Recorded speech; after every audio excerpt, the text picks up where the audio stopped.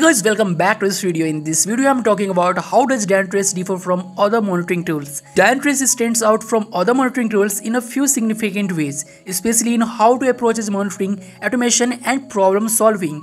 First, Dynatrace offers something called full stack observability, which means it can monitor every aspect of your technology stack from end to end while other tools might focus on specific areas like just the application layer or just the infrastructure. Dynatrace brings everything together.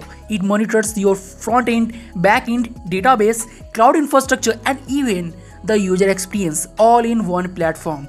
This comprehensive view allows you to understand not just individual components but how everything works together, which is crucial when you are trying to diagnose and fix issues quickly.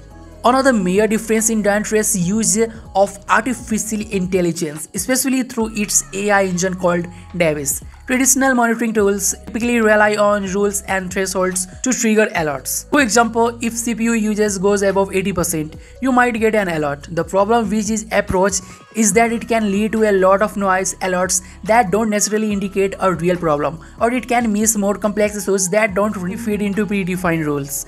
Davis, on the other hand, continuously analyzes all the data in real time and understands the normal behavior of your systems. If something goes wrong, Davis doesn't just alert you that there is a problem, it can tell you exactly what's causing it. This root causes analysis is automated, saving you the time and effort through logs and metrics to figure out what went wrong. Automation is another area where Dynatrace excels.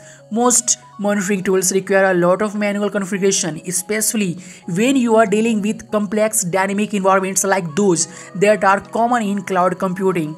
In contrast, Dynatrace automatically discovers and maps everything in your environment. As soon as you deploy it, it keeps that maps up to date as your environment changes. So you don't have to worry about manually updating configuration every time something new is added or changed. Furthermore, Dynatrace is particularly strong in cloud native monitoring.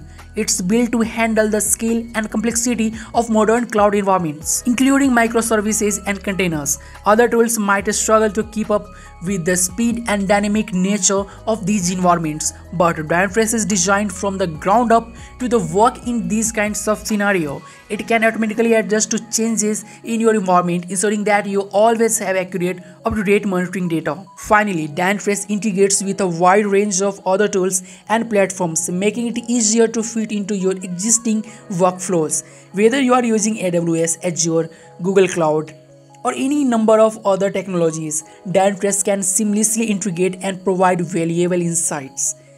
What really sets Dynatrace apart is its combination of full stack observability, AI driven insights, automation, and cloud native capabilities. It's designed to handle the complexity of modern IT environments in a way that's both comprehensive and efficient, which is why it's often preferred over more traditional monitoring tools.